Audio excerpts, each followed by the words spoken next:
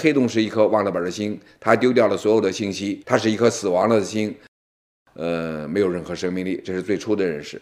但是后来很快不久，就有人认识到了，并不是所有的黑洞都是死亡了的星。我们现在就来看这点。首先呢，就是有一个叫彭洛斯的人，这个人呢是个数学家，搞广义相对论研究，他就提出来啊，转动黑洞的这个这个能层里边啊储存的能量，什么叫能层？就是一个转动的黑洞啊，它的无限红移面和它的世界啊分开了啊。你看那个中间那个几乎近似球形的那个，这张图里头，那就是个外世界，就黑洞外边的世界。转动的黑洞是有两个世界的。你要简单的想呢，黑洞的这个外世界啊，就像一个核桃。无限红一面就像一个橘子的皮，就像那个核橘子中间是一个核桃。那么黑洞的边界是什么呢？是这个核桃的皮儿，不是橘子皮儿。橘子皮儿呢，外边呢是无限红一面。你要是坐飞船过去的是可以穿过它的，但是你只要不穿过那个核桃，不穿过它那个外世界的话，你是安全的，你还可以飞出来。这个外边这个地方呢，彭洛斯的研究就是这地方储存着能量啊，所以它叫核桃和这个橘子皮之间的这个区域，这个呢存在着能量，叫能层。他研究过，说假如你放一个物体进去，啊，它有可能啊从能层里头飞出来的时候啊，出来的能量比它入射的时候能量要大。为什么呢？他说这个能层里头啊存在着赋能轨道，就是进去的这个物体，它可能裂成两块，一块呢沿着赋能轨道掉进黑洞，另外一块飞出来。赋能的轨道那个掉进去呢，就是黑洞的能量减少了。呃，跑出来这一块的能量呢，因为能量守恒就会比入射的要大，所以呢，他就说认为呢，可以从能层里边提取能量啊，这个观点是正确的啊。到现在为止，大家都没有挑出它有什么毛病来啊。所以呢，他认为呢，转动的黑洞呢，实际上有生命力。后来有人就想了，说假如你这个物体啊，它不是那么大一个物体，是个很小，讲到量子的这个级别的时候，那么这个物体不就是一个波了吗？啊，也就是说，是不是有可能使得入射波进去出来的是出射波比入射波还强？有没有这种可能呢？这个提出来的这个人叫 Misra，呃，Misra 就是跟那个惠勒还有 k i p s o n 三个人一起写了一本大黑书啊，Gravitation 引力。当时有一段就几乎是呃广义相对论的圣经似的那那那那么一本书，Misra 就提出来了有这种可能。进去以后会会出来的会比它强，而且呢，呃，它对这个辐射呢有一个描述。那么这种辐射就叫超辐射啊，叫米斯拉超辐射，这个也是公认的，也是提取这个能层的能量。米斯拉超辐射和这个彭洛斯过程都会把等层的能量带出来，使这个黑洞的转动逐渐的变慢，把它的能量和角动量都往出提。这时候呢，呃，又有两个人，一个是苏联的斯塔罗宾斯基。一个是加拿大的安茹，他们俩又提出来了，既然是个超有超辐射，那它会不会有自发辐射呢？为什么这么提呢？超辐射呢，本质上是一种受激辐射。大家都知道，受激辐射就是激光。激光理论实际上是最早的理论，是爱因斯坦提出来的。当然，他当时还没想到这个激光可以那么强啊。他只是说呢，原子里头啊，如果原子处在一个高能级的时候，它有可能跃迁到低能级。这原子处在低能态呢，可以跃迁到高能态呢，就要吸收辐射。如果有外界的辐射进来的时候，处在像我们看到这这张图里边，如果入射的这个能量。H 纽，它的 E 等于 h 纽嘛，是吧？能量正好是满足这个能级差的话，这个原子就从低能级跳到高能级，这就是吸收过程。吸收过程是大家肯定都知道的。还有一个过程呢，就是高处在高能级的原子跃迁到低能级，就放出了 h 纽的这个这个这个辐射。那么这个叫自发辐射，这个大家也知道。但是爱因斯坦指出还有第三种，这种是什么呢？很多原子处在高能级，本来有自发辐射，偶然有一个掉下来。一会儿呢，又有一个人掉下来。他说还有一个情况，假如有一个光子入射进来了，它的这个能量正好是这两个能级差的话，它就可以刺激这个原子一下子从高能级都都跳到低能级来。这个就叫受激辐射。受激辐射就是现在的激光的那个最根本的理论。所以他就讲了，说这个黑洞，你看你有超辐射，超辐射相当于受激辐射。既然有受激辐射，它会不会有自发辐射啊？是不是应该有自发辐射啊？因为根据爱因斯坦的这个辐射理论，自发辐射系数和受激辐射系数啊之间是有关联的。如果一个不为零，那个就不应该为零啊。所以他说应该可能有这个自发辐射。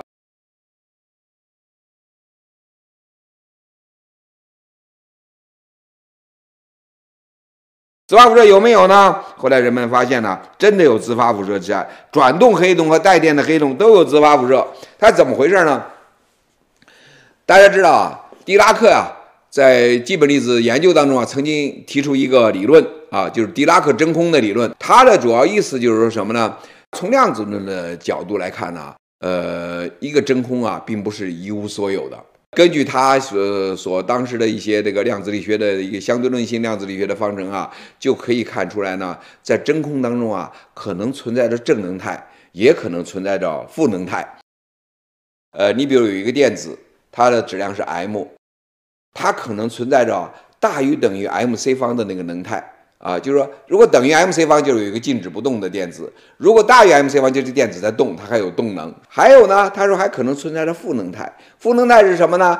就是这个电子的质量是负的 m c 方，它静止不动。还有呢，更负，比这个 m c 方呢负的更厉害，绝对值更大。后来他还因为这个呢预言了正电子。通常我们说真空啊，就原来大家简单想就是什么都没有啊。他说呢，你可以把真空呢想象成是一个。最贫穷的状态是吧？说这人兜里头呢一分钱都没有，呀，穷的当当响是吧？他说其实呢还有比他更穷的，什么呢？不仅兜里没钱呢，还跟别人借了钱了，是不是？